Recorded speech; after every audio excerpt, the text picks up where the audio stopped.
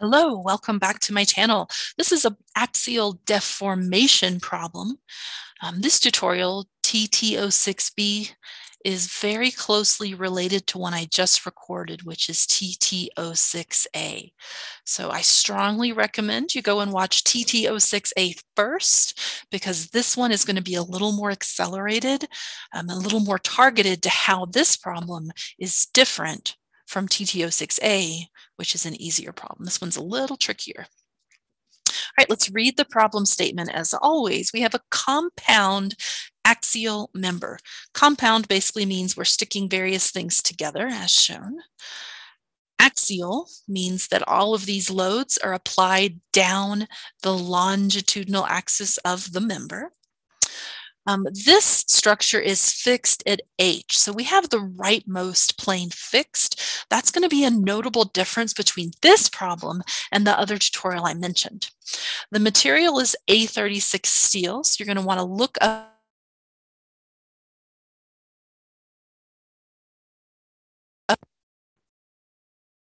of steel. If you haven't already memorized that one, it's a good one to commit to memory, it's 200 gigapascals for all grade, vir virtually all grades of steel, and definitely for A36 steel, which is a mild grade of steel. Um, very ductile, low strength, low carbon. Okay, and um, we'd like to figure out what is the translation of the plane containing E. So where does this plane move in the deformed geometry is what we have been asked to find. All right, I think the first thing we're going to want to do, so this picture that we're given up at the top, of course, this is our loading diagram, and we're going to want to turn this into a free body diagram. This is going to be a pretty easy change. We're going to want to free the body from that support. So down here, note that the support hasn't been shown, it is, has, has been removed from that drawing, but we do want to include a force reaction at this plane. Let's spot check static equilibrium. I'll do this um, the fast way. I'll do this the fast way. So here is how I would do this if I was not trying to like show all my work on an exam. I've got 50 kilonewtons to the left. I'll pop, oh, I've got XY on there already. Okay, awesome. So that would be in the negative x direction. I have got 70 kilonewtons to the right. That means I have a net effect of 20 to the right to put that in equilibrium, I need 20 kilonewtons to the left. Now I am in static equilibrium, and now I am good to go. If you wanted to do this the mathematically pure way, you could do a summation of forces in the x direction, but reach the same conclusion All right, now that I've got my free body and that unknown reaction solved for, I'm ready to go into my normal force diagram. The best way to do this, the way that I recommend that you do this is with a series of free bodies. I'm going to merge this with this, turn that down, new layer, great. Okay, so here's what I recommend. Cut here to expose the internal force on that segment I've got 50 kilonewtons here. That means 50 kilonewtons of tension so that that free body is in equilibrium. Tension, of course, is positive. So I'll draw that right here as 50 kilonewtons of tension. Okay, next segment.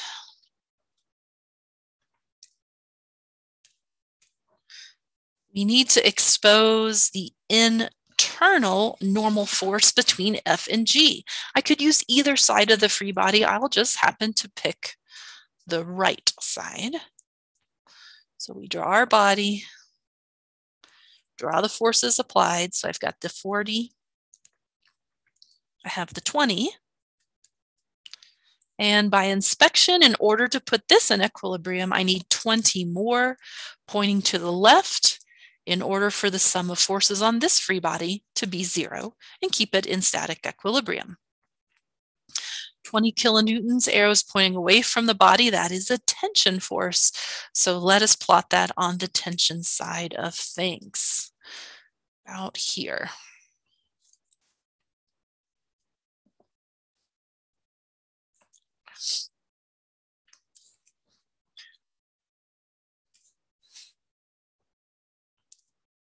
Lastly, we need to go into our final piece of the free body. And I'm going to do this one a little differently just to show you that you can. I'm going to cut here. I'm going to cut here. I'm going to choose to use this free body just so that you understand just how creative you can get with these cuts. Okay, what do we need to put this free body in equilibrium? Well, I've got need 40 kilonewtons here. My unknown cut there, I can get off my diagram. It's a pulling force or a tensile force of 20. So 20 kilonewtons goes to the left, arrow pointing away from the body. Now I can solve for my unknown normal force at this plane. In order to put this structure in equilibrium, I need a force of 20 kilonewtons pointing to the left. Note that this reaction doesn't show up in that free body, right? Because we cut it off, we cut it out. All right, so now I have 20 kilonewtons of compression in this final free body. We'll update my internal normal force diagram accordingly. And as I mentioned in the other video, even though the normal force is undefined at these jumps, it is still conventional to draw these lines. Engineers have just developed ways of communicating over the years, and we just do what they tell us to do. I do not know why that tool is not working. Ah, too much pink. Okay, sorry about that. All right, we are moving right along. All right, so doing this step, diagramming the internal normal force is an important concept for this unit. We did our global equilibrium and determined our reaction there first. After that, we did our internal normal force, internal axial force um, diagram. We're asked to find translation of a plane containing E. And since E is very far away from the only thing we know, the only thing we know, which is that H doesn't move, I can write an expression that says the translation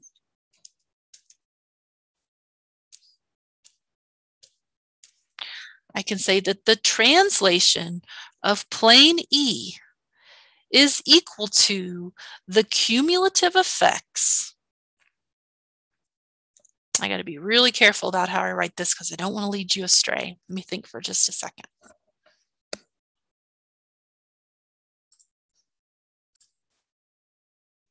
The cumulative effects of the sum of the deformation in member EF, FG, GH.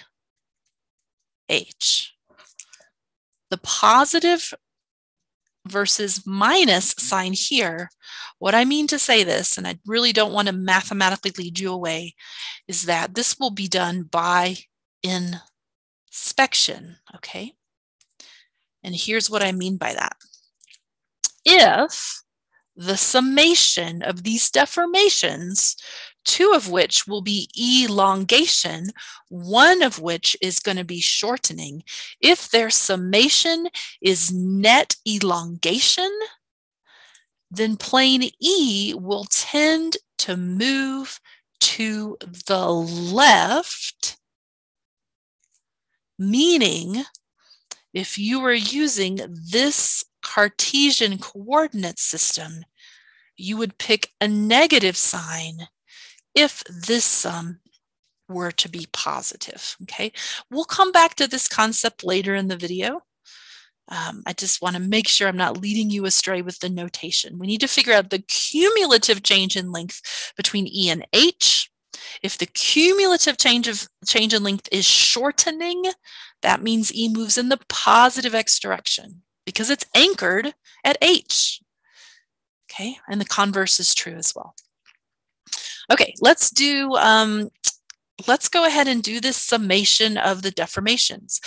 So I'm going to do the deformation between E and H is equal to first term delta EF. We're going to use for each one of these my equation. I'll do it in purple over here. Axial deformation is equal to NL over AE. It's my axial deformation equation. All right.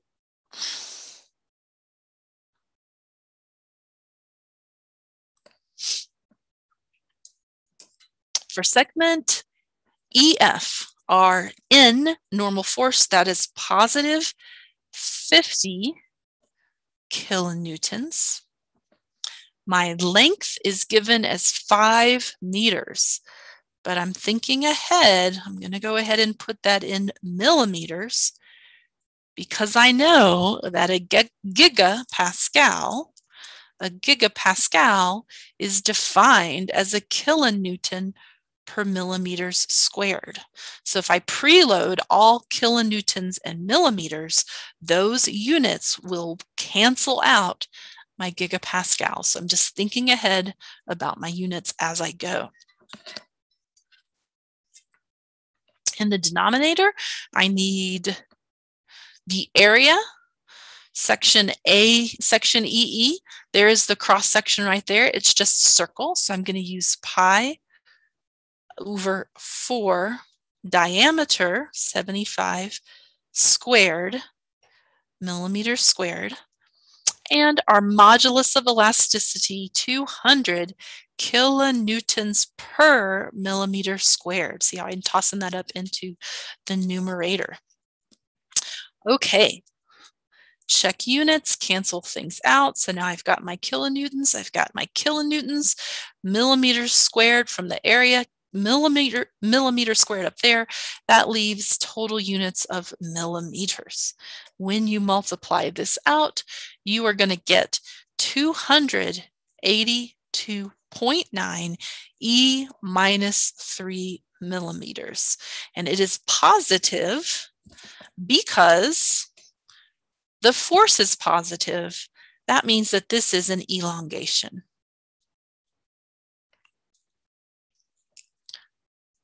Okay, you would do a similar procedure for member FG and GH you get all of your internal forces from this diagram, watching the signs.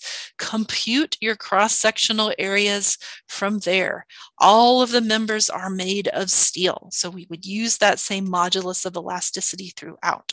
So I will just give you these intermediate values and have you work these out on your own and then check your own work. So the deformation in FG is equal to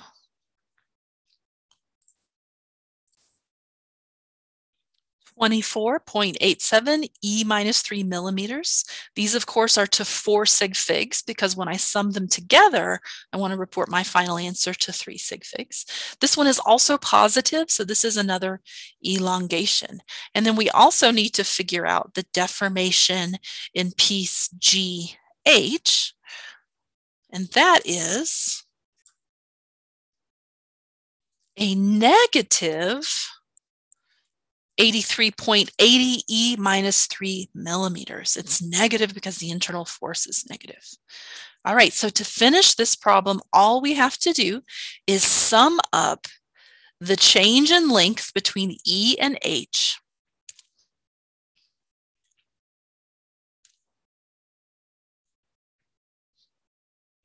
that one back there. The change in length between F and G and the change in length between G and H. Okay, so I've got two positive terms and one negative that I want to sum up into this equation in order to determine the contents of this, these brackets here. Before we do that, let's make sure that these answers we got make sense. Because normally, if I were to see deformations in a problem like this, and if I were to see this value, which is about 10 times more than the order of magnitude of these two, That's a red flag for me to immediately check my work and make sure that I didn't make a silly error. Does this make sense? Does it make sense that the deformation in EH is roughly 10 times that of FG? Okay, let's check. It's got more force in it, quite a bit more, right? It has over twice as much force as the other segments. So yeah, it's going to get more elongation because of that. The lengths are all the same, so they're all five meters long. That was held constant in this particular problem. So that's not going to change anything. Um, but look at the areas. You see this area is relatively small. This one is quite a bit bigger because you're squaring that radius in the pi r squared term or the pi over 4 diameter squared term. And so, yeah, it makes sense that if I were to do an apples to apples comparison of these two, I'm looking at the areas, I'm looking at the amount of internal force and saying, yeah, that answer makes sense. So give these a reality check as you go. Okay, let's sum them up. The result of U sub E equals, and I'm still going to put positive or minus kind of as a question mark, but the deformation between E and H, and I just realized, I'm sorry, that one of my subscripts is incorrect. This first one is E and F. Sorry about that. Next one is F and G. Last one is G and H. Okay, so I just want to sum these three um, values together.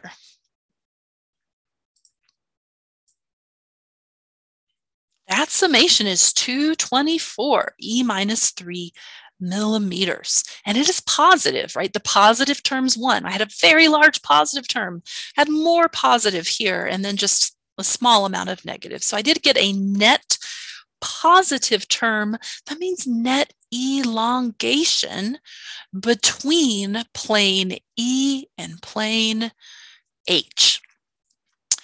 If the member is overall elongating, and if it is anchored at the right, the only place for it to grow is to the left. Left. so we're anchored at the right. That elongation will send plane E to the left. So a couple ways to express this final answer. First of all, by the way, I did condense this down to three sig figs, you know, now that I'm at the end of the problem.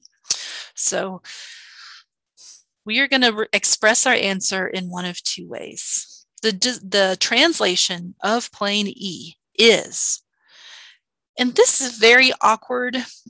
I would probably be inclined to report this as 0.224 millimeters if you wanted to use the, the E minus three or to change the metric prefix, that would be okay too.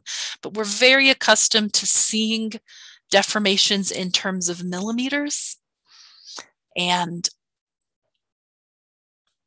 we're also, you know, if the number completely follows the decimal, in fact, so like it's not like 0.0002, um, that is the way I would probably express that.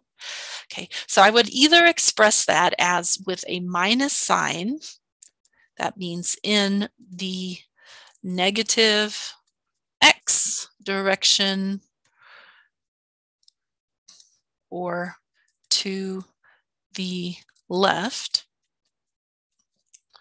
Or another way to write this and I think this one is less ambiguous, ambiguous and less confusing is I just put an arrow right next to it, right next to it as shown. So this last one would be my preferred way to express the answer to this problem.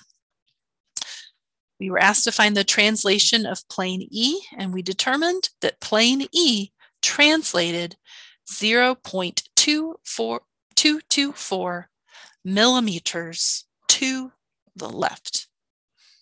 That's the end of this problem. I hope this was helpful for you.